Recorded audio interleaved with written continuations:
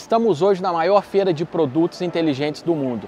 Essa é a indústria que mais vai crescer nos próximos anos, provavelmente nas próximas décadas. Você ouviu falar muitas vezes do 5G, internet das coisas, a quarta revolução industrial e tecnológica. Hoje você vai conhecer como você consegue empreender e montar teu negócio com esse tipo de produto. Eu vou mostrar tudo para vocês. E principalmente, clicando nesse link aqui embaixo, você vai ter um e-book que eu preparei especialmente para vocês com toda a informação, todos os contatos de mais de 1.100 empresas. Isso vai te salvar muito tempo, vai te salvar muito tempo.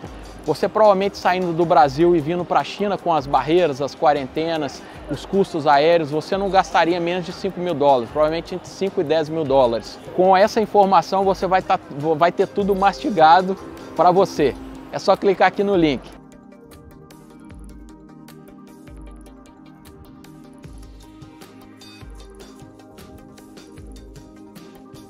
Exibidor é bem interessante.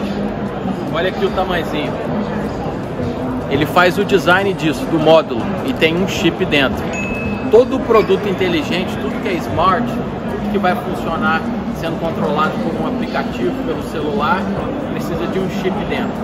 Então eles fazem um chip e mandam para uma empresa taiwanesa lá de Taiwan, né, uma empresa chinesa, fazer o chip.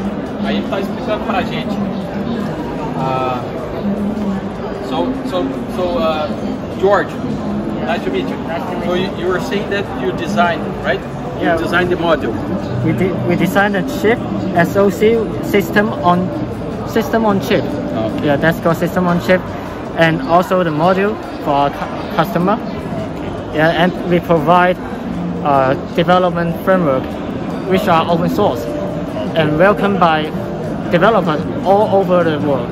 Yeah, so we are famous for this. Aham. And É, é um mercado muito interessante, é um mercado que pouca gente fala, mas nos últimos anos teve muito, muito, muita discussão nas mídias sobre chip, estavam em falta para alguns mercados. Mas eu até perguntei isso para ele. Uh, for example, in the past years, there was like a lack of, of chip in the world, but it's not this type of chip, right? Yes, it's a right. different application.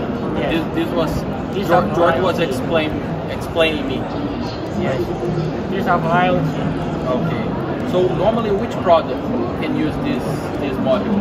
like uh, lighting products Lighting products, and also the electronic products. Uh, yes, yeah, the switch. like a speaker, like a speaker, like a lighting. Yes, This yes. is smart, smart one. Yes, Yeah. yes, So, so like the products you can find in this exhibition, like mainly lighting and speakers and all these smart products, they will need the module and the chip designed by George. yeah. Designed by Mr. Yeah, yeah, yeah, I know. okay.